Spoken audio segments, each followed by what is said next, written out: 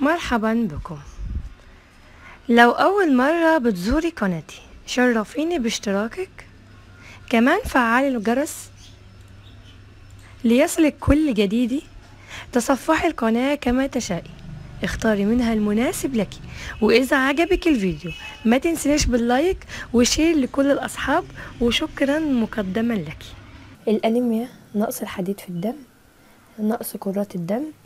الأنيميا بشكل عام مشكلة بتواجه آه، الأطفال بتواجه الكبار بتواجه الرجال بتواجه ناس كتيرة جدا.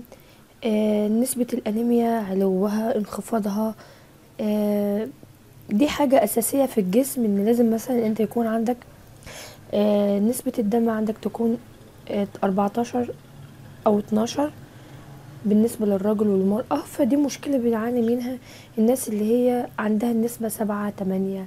عشرة إيه طب في ناس عندها للأسف تلاتة وخمسة دي بتهدد حياتهم بشكل عام. مشكلة الأنيميا وفقر الدم إيه مشكلة بسيطة بالنسبة للناس اللي هي عايزة تحلها ولكن مشكلة صعبة جدا بالناس اللي هي بتسمع كلامها للدكاترة هنمشيك على حد تلات شهور أو هنمشيك على علاج معين. وطبعا اللي بيمشوا على العلاج كويس جدا جدا ولكن النسبة بتترفع بدرجات بسيطة جدا جدا بتطلع بسرعة نملة يعني. النهاردة. جيت لهم بعلاج للأنيميا بشكل عام ونقص الدم من المطبخ يعني مكون بسيط موجود لكن مفعوله كبير جدا هو العدس البني. في أنواع كتيرة للعدس أو ألوان في عدس أصفر وفي عدس بني وفي عدس تاني. لكن أنا عايزة العدس اللي هو البني اللي هو ده. ده إحنا هنجيبه وهنضفه يعني انت ممكن تغسليه وتسيبيه ينشف لا اما تجيبي فوطة وتمسحيه كويس جدا جدا وبعد كده هتفرميه. هيكون بالشكل ده. وهنجيب زبدية. أنا عايزة في الحالة دي زبادي بلدي. مش عايزة الزبادي اللي هي بتكون بتاريخ صلاحية علشان بيكون مفعولها مش قوي.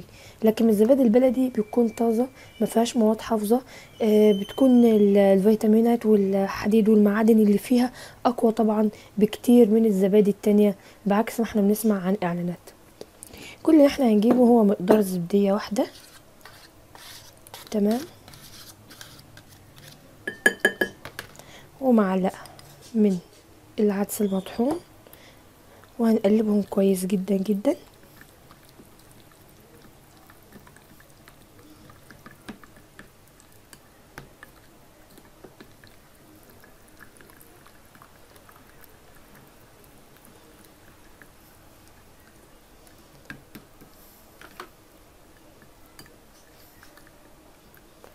هيكون الخليط معانا كده.